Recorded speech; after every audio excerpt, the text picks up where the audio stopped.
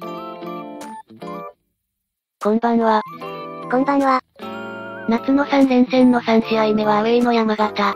熊本は変わらずのスタメン。山形は左サイドバックの山田のみ。J3 に降格していてすっかり J2 に疎くなったけど、山田とか昔からいる選手が、いると少し安心する。山形の左は石川でその後は山田ってイメージが強いね。さてさて山形はホームで内容は悪くないけど惨敗でしたね。だね。あの頃はまだ J2 のプレイ強度に慣れてなかったのも大きいよね。そんな山形は現在低迷中。前線の藤本が怪我です。あと1週間遅かったらビサロが加入していた。当たるタイミングは良かった。試合としてはセットプレイから姿が得点。セットプレイで点が取れるのはいいこと。昔、秋田がセットプレイでのセンターバックの得点は調子のバロメーター。そんなことを言っていました。姿も好調なんでしょうね。その後も得点機会があったけど、決めきれず。だけど無失点で締めれてよかった。ターレスは強引すぎましたね。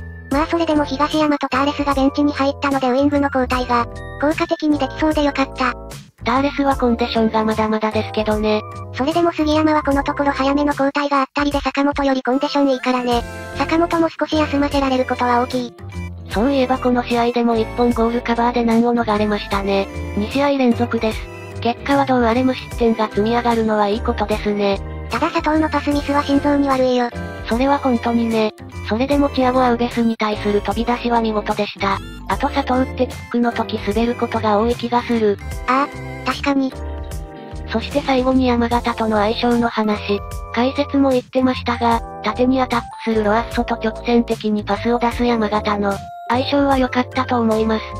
ただどうしても総力を使うロアッソの守備は体力を使うのでしんどかったね。ですね。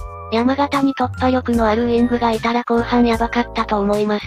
国部は確かボランチだし、荒垣はなぜかサイドで使われないし、よくわかんないことはある山形だね。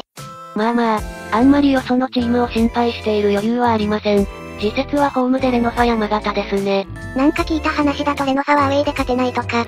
ロアッソはホームで勝てないですけどね。プレイオフ圏内まで本当にあと一歩になりました。次節のホームこそ勝ちましょう。それではご視聴ありがとうございました。よかったらチャンネル登録コメントをお願いします。それでは、チャオ。